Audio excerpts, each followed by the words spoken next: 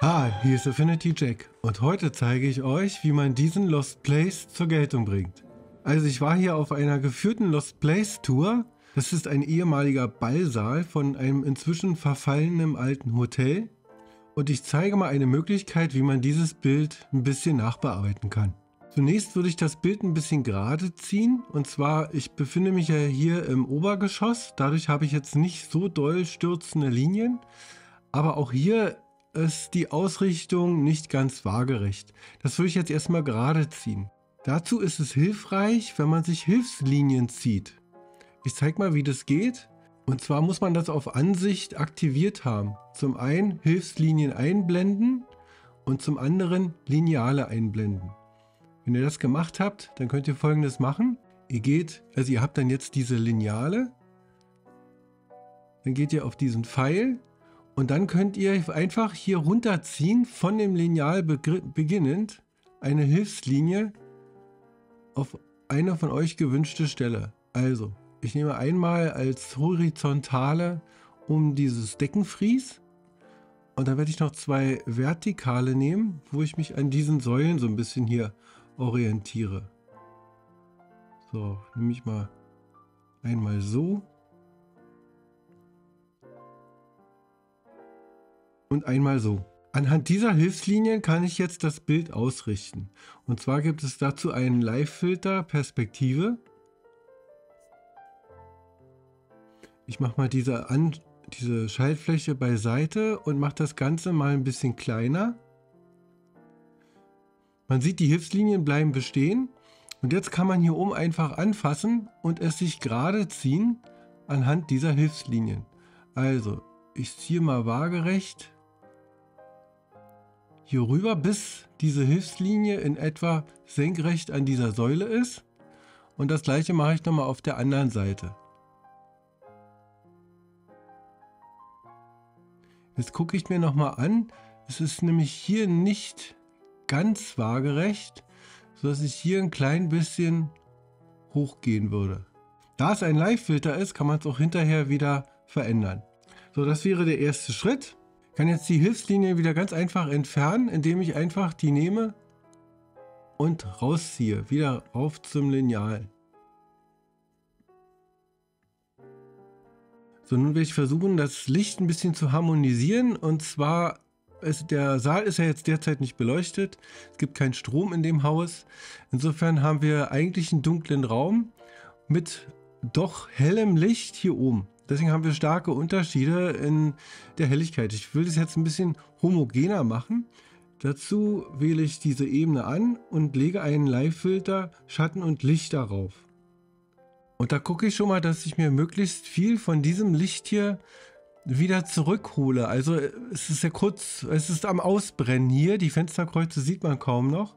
Und das versuche ich jetzt mal ein bisschen wieder zu retten. Und den Schatten hier, und auch hier, den möchte ich ein bisschen aufhellen. Und da gucke ich mal, bevor es mir zu matt wird, gehe ich mal so bis auf diesen Wert. Also hier kann man schon jetzt ein Vorher-Nachher schon mal sehen. Da haben wir schon mal eine Basis. Insgesamt, wie gesagt, es gab ja kein wirkliches Licht, ist mir das noch zu dunkel. Insofern werde ich jetzt die Belichtung anpassen. Ich habe die Belichtung ausgerichtet auf die Fenster. Dadurch ist es insgesamt ein bisschen unterbelichtet.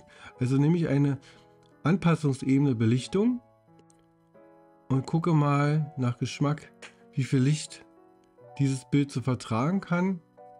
Ich würde du durchaus auf diesen Wert gehen. So finde ich, passt es ganz gut. Was jetzt nicht passt, ist, dass ich die Lichter, die ich hier gerade gerettet habe, jetzt natürlich ausgebrannt sind und das gleiche gilt auch für diesen Leuchter. Insofern werde ich das jetzt rausmaskieren. Dazu nehme ich einen Pinsel, Farbe schwarz und werde in diesen Bereichen einfach mir das Licht wieder zurückholen und es rausmaskieren.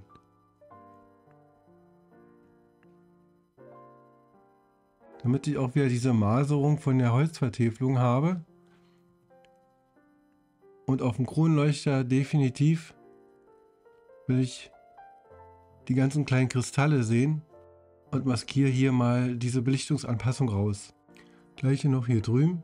Das Bild hat doch einige, einiges an Strukturen drin, wie zum Beispiel äh, abbröckelnde Putz und Farbe, die ganzen Kristalle, auch die Holzvertäfelung, der Fußboden mit dem ganzen runtergefallenen Putz hat meiner Meinung nach schöne Struktur, die ich jetzt ein bisschen verstärken will. Und dazu nehme ich den Live-Filter Klarheit. Klarheit kommt dem HDR-Bereich entgegen und schärft das Bild und zieht gleichzeitig Kontraste rein. Dann gucke ich mal, welcher Wert hier so von dem Bild verkraftet wird. Ich glaube, ein ziemlich hoher Wert. Ich gehe jetzt hier mal richtig hoch ran. Und finde ja, gerade hier in diesem Bereich macht es was mit dem Bild, was mir sehr gut gefällt. Möchte noch weiteren Kontrast reinbringen. Also wähle ich wieder die Ebene an und nehme jetzt die Anpassungsebene Redaktionskurven, setze mir drei Punkte und werde jetzt diese Punkte ein bisschen verändern. Also insgesamt möchte ich doch noch die Mitten, insgesamt den Bildeindruck ein klein bisschen aufhellen. Ja, es gefällt mir ganz gut. Möchte auch die helleren, also die nicht ganz helleren Töne, aber die helleren Töne auch noch ein bisschen aufhellen. Und gleichzeitig, um für den Kontrast zu sorgen, dunkle Töne ein klein bisschen wieder abdunkeln. Sagen wir mal so. Es zu überlegen, ob ich hier gleich wieder was rausmaskiere, damit das hier nicht so ausbrennt. Ansonsten würde ich sagen, hat es damit gewonnen. Nun ist die Decke zweifarbig, rot und blau. Und ich finde, die könnte durchaus noch ein bisschen kräftiger sein, was sie bei Beleuchtung garantiert auch wäre und früher, in früheren Zeiten garantiert auch war. Also ich werde jetzt die Sättigung dieser Farben einfach ein bisschen erhöhen. Nehmen wir dazu HSL, die gesamte Farbpalette und ziehe jetzt ein bisschen die Sättigung hoch. Dabei achte ich aber nur auf das Rot und das Blau hier oben. Ja, so gefällt mir das.